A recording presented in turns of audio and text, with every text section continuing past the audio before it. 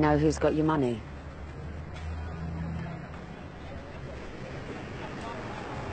His name's Ben Mitchell. And I know just where to find him.